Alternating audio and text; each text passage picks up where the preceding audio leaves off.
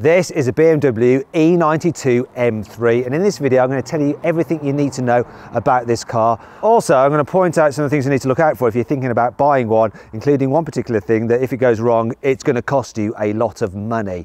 I'm also going to tell you about simple upgrades you can make to make it peak M3 without altering the character too much. Now I'm actually thinking about selling my Porsche 911 996 and getting one of these instead. And we'll find out if I'm actually going to do that at the end of the video. Let's start this video with a quick history lesson. So the first M3 was the E30, that had a four cylinder engine. Then there was the E36, which had a six cylinder engine. Then the E46 also had a six cylinder engine. However, in 2007, BMW launched this, the E92, which had an eight cylinder engine. Now it stayed in production until 2013. As for the pricing, started from around £50,000, though you can pick one up now from £12,000 that'll get you a bit of a tatty one. If you want a good one, you're looking around £20,000. And if you are thinking about buying one of these cars, you need to get its history checked. You don't want to be buying a car which has outstanding finance or was written off or has got various problems. And you can check the history of a car using Car Vertical. So all you have to do is just input the details of the car to get the report back. And I've done it for this particular car. And the good news is, it's all clean. That's not the case with all cars. Check out this 4 Series. There's some pictures of it here, it looks really nice. However, one of the great things about Car Vertical is that you can get pictures of if there's been damage to the car. So if you go back in time with this 4 Series, you can see that actually, look, it was involved in an accident. And here's pictures of what was done to it. See, the airbags have gone off, it's damaged on the outside, a bit of a mess on the inside. Would you want to buy this car if you knew that it once looked like that? I mean, you'd never know looking at the current photos of it, but that's all a bit scary. So if you want to check out a car's history, then simply follow the link in the description or my pinned comment to Car Vertical. And if you use my discount code, then you can save some money on a report. Definitely go check it out. The heart of the E92 M3 is of course its S65 4 litre naturally aspirated V8 engine.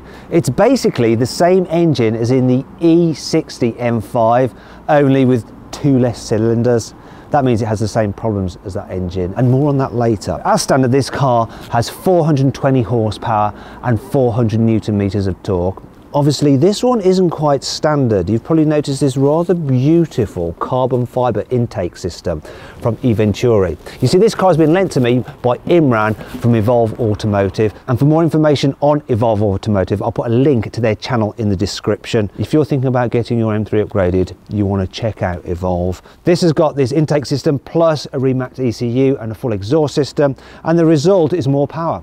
460 horsepower to be precise. So the 0 to 60 time on this car should be quicker than the standard car's claimed 4.8 seconds. It should also sound better as well, shouldn't it? Now let's talk about the design of the car. Really, the upgrades of the standard 3 Series Coupe is just M3 badging and a sportier rear bumper with this cutout section here. And of course, those quad tailpipes.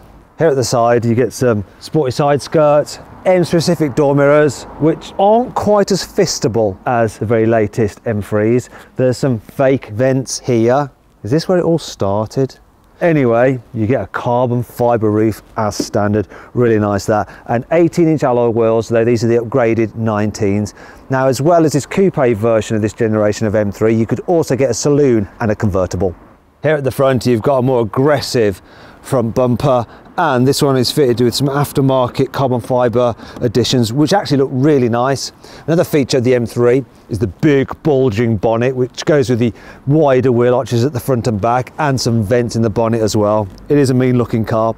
Now it was facelifted in 2010 but really the facelift was very minor. However towards the end of the car's life you could get some special editions like this one here. So it's a limited edition model. I think there's only like about 50 sold in the UK. It's a very very rare car though it's not quite as desirable as the GTS, which is pretty much a racing car for the road version of this generation of M3 with a roll cage, a massive wing and an uprated engine. You can get this car with either a six-speed manual or a seven-speed dual-clutch automatic, which is what this car has.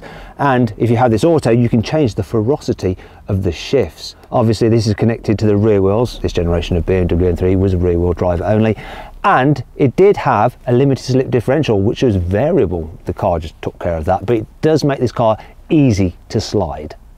The M3 has rated brakes over the standard 3 series, so you've got larger ventilated discs at the front and the rear and beefier calipers, though they are only single piston calipers. The M3 also gets rated suspension, so stiffer springs, revised dampers, beefier anti-roll bars, though in 2010 a competition version was offered which had lowered suspension by 10 millimeters over the standard M3 and also different settings for the springs and the dampers that improved the handling quite a bit. Also, it came as standard with the otherwise optional adaptive dampers. This particular car has actually been rated by Evolve Automotive with Bilstein adaptive coilovers, and so it's going to be interesting to see how this feels out on the road. Here on the inside, I don't think this cabin feels too dated considering it's over 10 years old. Quality is generally pretty nice. It's got a good sporty feel to it. The layout is clear.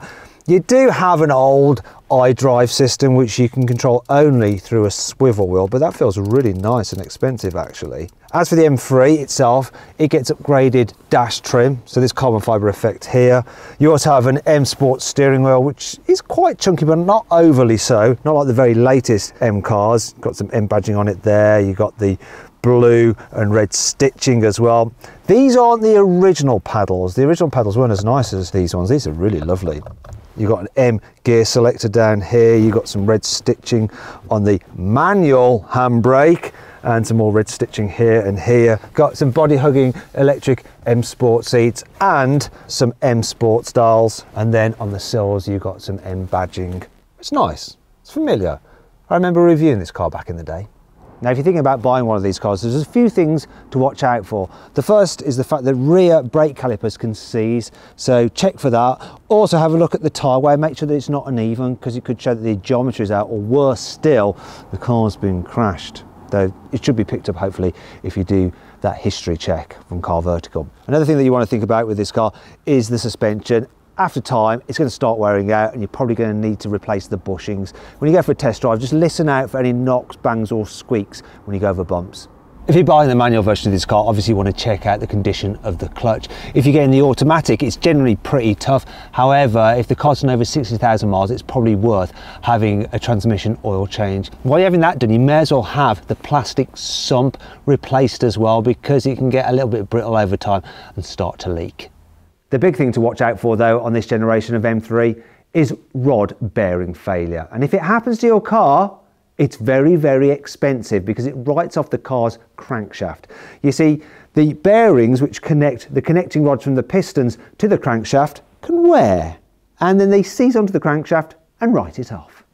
Brilliant. Now these rod bearings were from a 62,000 mile car. Look, worn out.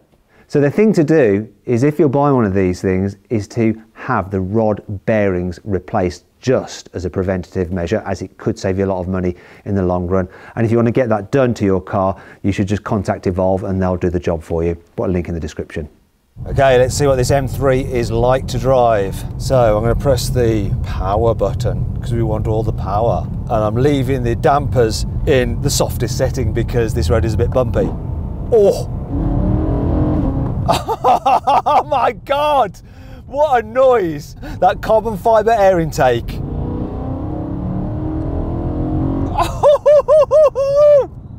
that sounds epic.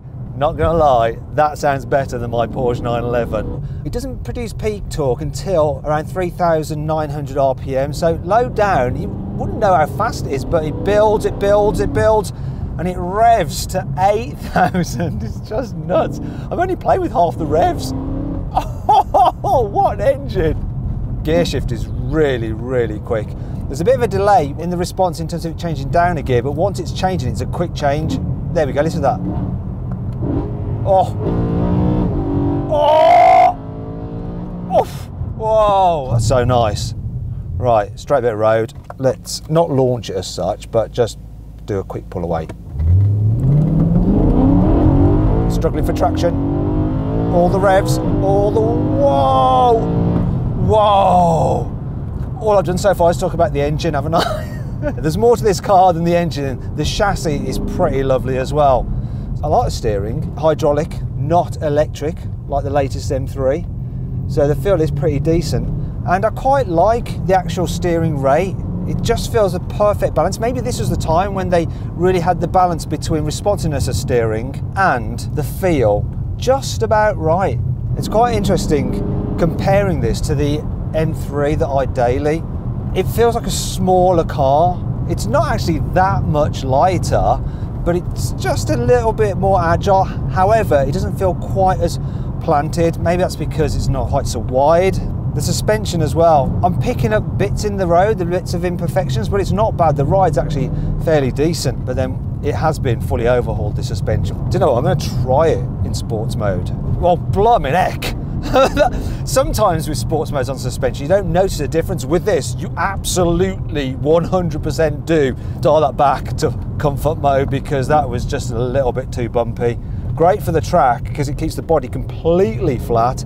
Though to be fair, even in comfort setting, there's hardly any lean, which means you can just trust the car going through the corners and it just feels nice and stable. The brakes are fine. They're not really stand out. They're fairly consistent. They're not grabby.